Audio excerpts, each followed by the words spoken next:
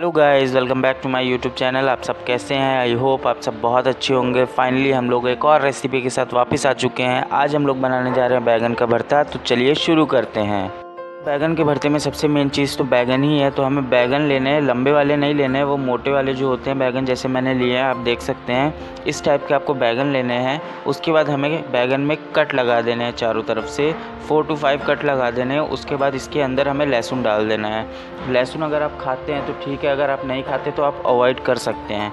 Then उसके बाद इसमें हमें हल्का सा सरसों का तेल चारों तरफ़ से अच्छे से लगा देना है।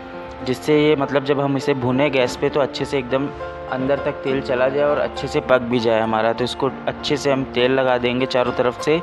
सरसों का तेल आपको यूज़ करना है इसमें। सरसों का तेल हमने चारों तरफ़ से लगा दिया है इसमें। देन उसके बाद अब इसे हमें गैस में फ्राई करना है। तो गैस तो हमने चालू कर दिया अब गैस पे सीधा आपको ये रख देना है और इसको हल्के एकदम मीडियम फ्लेम पे हल्का हल्का भुनना है। अगर तेज़ फ्लेम में आप भुनेंगे तो ये पूरा जल जाएगा और अच्छे से पकेगा भी नहीं। जब हमारा बैगन एकदम ब्लैक कलर में आ जाए मतलब सारे इसका जो बाहर का कवर है वो आसानी से निकलने लग जाए, छिलने लग जाए तो इसको हमें अलग कर लेना है। और सेम चीज़ हम टमाटर के साथ भी करेंगे, उसमें सरसों का तेल लगा देंगे चारों तरफ़ से देन उसको भी सीधा गैस पे रख के अच्छे से भून लेंगे।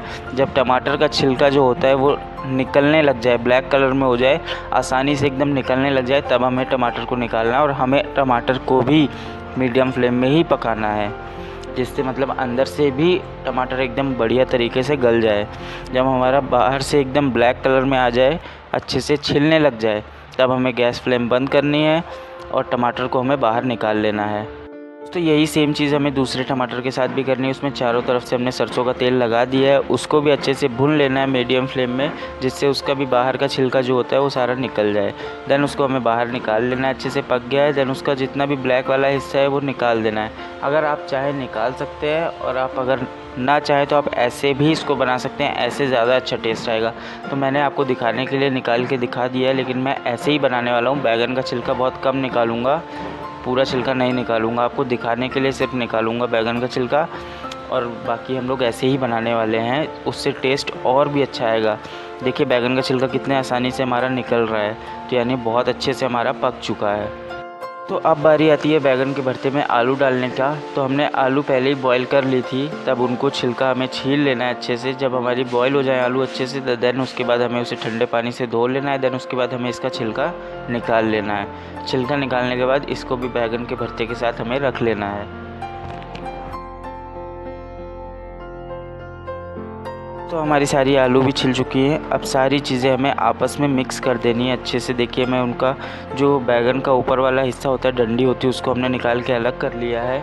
और जितने भी सारी चीज़ें थी, हमारे पास बहुत गर्म है तो इसको किसी भी स्पून से या फिर मैशर से अच्छे से इसको हमें मैश कर लेना है। एक साथ आपस में अच्छे से हम देखिए कैसे मैश कर रहे हैं सारी चीज़ें। अच्छे से एकदम मैश भी हो रही है, क्योंकि अच्छे से पक चुकी हैं सारी चीज़ें।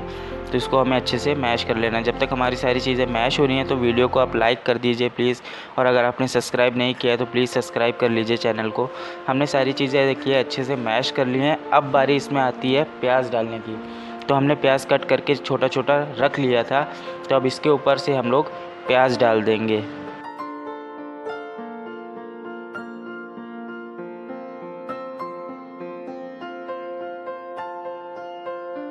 दोस्तों, आलू, बैगन, टमाटर हमारे अच्छे से मिक्स हो चुके हैं। अब ऊपर से हम लोग प्याज डाल रहे हैं। बारीक कटा हुआ हमने प्याज देखिए डाल दिया है, अच्छे से सारा प्याज डाल दिया जितना प्याज डालना चाहें आप उतना डाल सकते हैं। मुझे प्याज ज़्यादा पसंद है तो मैं थोड़ा ज़्यादा डाल रहा हूँ।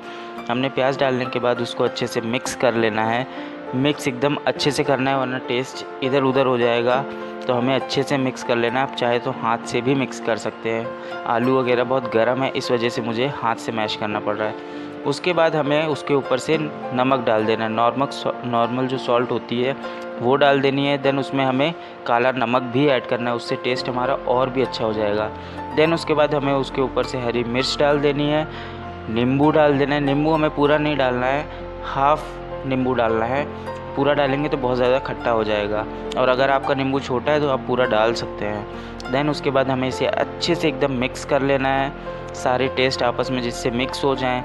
देन उसके बाद हमें इसमें लाल मिर्च होती है। हल्की सी लाल मिर्च भी डालनी है।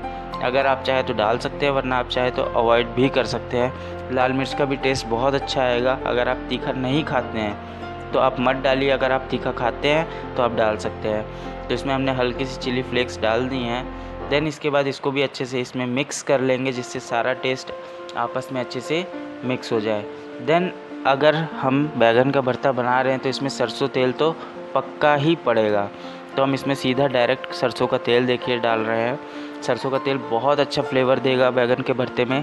तो हमने उसे भी डाल दिया और इसे भी हम बहुत अच्छे से मिक्स कर लेंगे सारी चीज़ें। और हमारा बैगन का भरता लगभग एकदम रेडी हो चुका है मिक्स हो चुका है। तो अब फाइनली बारी आती है इसको प्लेटिंग करने की। तो हमने सारा प्लेट में निकाल लिया है अलग। और देखिए हमारा बैगन का भरता कितना अच्छा लग रहा है। और दोस्तों, अगर आपको ये वीडियो पसंद आई हो तो प्लीज़ वीडियो को लाइक कीजिएगा शेयर कीजिएगा सब्सक्राइब कीजिएगा और बेल बटन ज़रूर दबा दीजिएगा, क्योंकि मेरी वीडियोस डेली आती हैं। आपको अच्छी अच्छी रेसिपी मिलती रहेंगी। ओके